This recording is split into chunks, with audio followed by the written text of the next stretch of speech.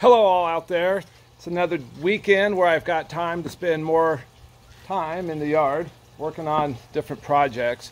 And as you can see behind me, we have our greenhouse. We have a cloudy day. The sun is out right now. It's in between clouds, but there are some dark looking clouds coming over. So we're trying to get done with what we can. So just a quick couple of items that I don't know if I've talked about in the past, but as you can see right there, that is a temperature sensor. And that is one that I use for direct light so that I know what kind of temperature is pounding down on our plants so that I can tell if it's 85, 105. It gets up pretty warm in the direct sunlight. So inside over here, I have another temperature sensor. Both of them connect to the internet. I can check temperature from anywhere. That I get internet service on my phone. I get uh, lots of uh, emails, notifications that tell me that my temperature is going too high, my temperature is going too low. Right now we don't get much in the low because the temperature is heating up. So we've got a few things that we're doing here this morning or this afternoon other than keeping the dogs from eating my trees. And I'm going to show you a few things about uh, grow material that I've learned in the last year and what I think it's just what's been best for us. This is the uh, rock wool that comes with the tower garden and and I have used that quite a bit over the last year and I am rapidly getting away from it for a couple of reasons. I have seeded, if, if you looked in some of my other uh, videos, they just didn't grow and I threw some seeds out today, some seedlings. And the issue that I found is this is where it kind of looks like. I think that it just holds too much moisture for the plants and the roots and they kind of look like they rot. It just get a little water rot and it's not something that looks good to me. Uh, we've been slowly getting away from any kind of dirt growing our own, own seeds and it's just very messy and doesn't look real well.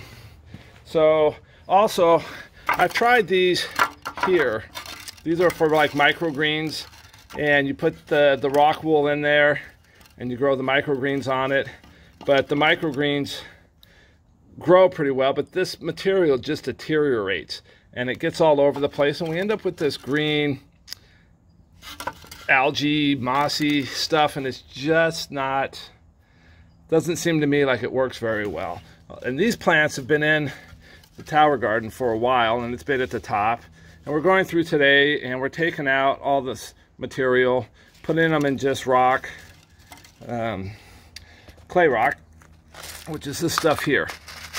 And this holds some, some moisture and water in them. And this stuff is pretty cheap and I've used that quite a bit. And the plants that I plant in there, the roots grab a hold and they get in there. And I find that when the roots start to grow like once they go and they're in the baskets that they just they hold in very well. So I use this mainly just to hold the little plants in. So this has been really good so far. The next generation of material that we're using to grow is this coconut coir. And these come in these little packets and they're maybe less than half an inch tall and they're round. I just put these in uh, some water to get them moist and expand. Because I took this out of the rock wool because it just it's it was ugly. And these seem to work really well as you can see over here. We've getting very good growth out of these seedlings. Got a whole bunch more that I planted out here I believe four or five days ago. These were planted about a week ago and I got some corn coming up on this one right here. So those are going to get transplanted into there. Spend about another week in the, the greenhouse here and it's spaghetti squash and then we're going to transfer it back into the towers. Some progression that I've made so far today is with the tower garden here and we're going through and we're harvesting again today like we do every week and different things but we're expanding we took those uh, microgreens out, trays out of there, and we put into some regular ones. Give these guys some room. to grow. Uh, we can see, even in the last week, the growth that we get is amazing just with the sun. And this tomato plant is gone off the deep end. This is our red cabbage. So we'll be getting some of that here before too long. And artichoke plant is growing strong. It is now later in the day. We have worked on the towers. We've replanted majority of the stuff that was in the microgreens container and as you can see or I can see they are already doing much better in the much better drainage so just real quick, this was a harvest, a second harvest that is starting to grow back for the third time.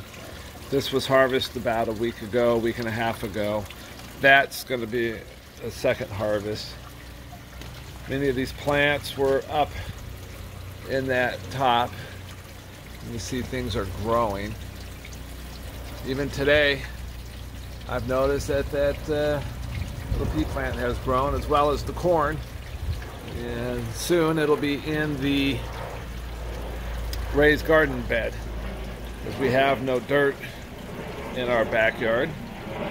And just a quick view of the tower gardens that are looking green. And about everything on there is edible. One of the things that I've learned is that the cauliflower leaves there the chickens and the dogs love those, so I'm wondering if we're missing something by not eating those. Uh, so we may take some and do a little stir fry with them and see what they have, as well as the cabbage leaves. So if we had to and we got hungry, I'm sure we would eat them. They all taste good.